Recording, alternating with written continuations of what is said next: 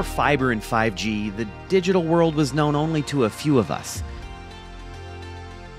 We dialed up instead of swiping up, formatted floppies instead of streaming on social media, we built our virtual playgrounds one kilobyte at a time. These computers are simpler than modern computers. So you can really put your head around them and start to understand how they work and you can program them and to do that, you, you've got to get down to the bare metal. You've got to get into the heads of the people that were working on it originally. What is it about these aging machines that keeps us coming back? For some of us, it's the thrill of teaching these old dogs new tricks. We developed the Aquarius Plus to solve all of those things that bugged us. We added sprites, graphics, Wi-Fi, Bluetooth, all the things that you would want in a modern system. This one was gutted, so I put a, a Windows PC inside of it. I made it my teleconferencing system. I'm running a FPGA replacement VIC because that gets me simultaneous HDMI out. For others, it's about preserving the past. We all take it for granted today because you can just go out and get gigs and gigs of memory.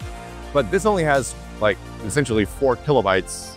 But for most of us, it's about rekindling the optimism we had and finding the promise locked inside these silicon chips.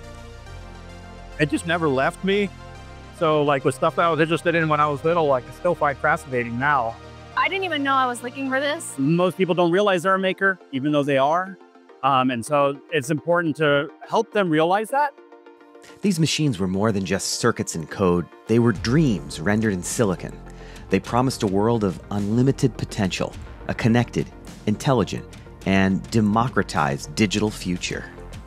It, it had just a totally different spirit about it. You know, $500 computer versus a $2,500 computer, you know?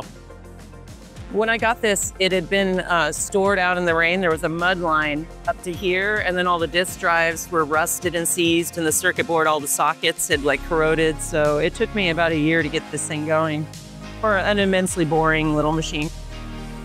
But somewhere along the way, things changed. Our computers became devices, locked boxes.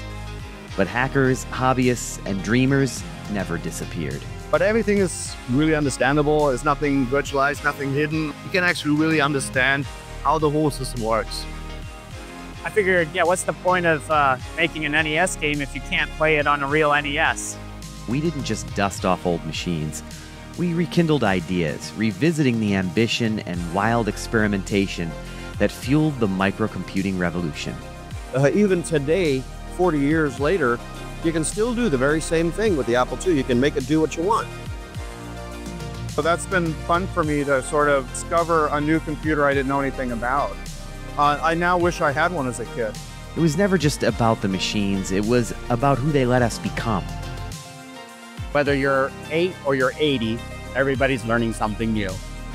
At VCF SoCal, we celebrated yesterday's future and then asked ourselves, what comes next?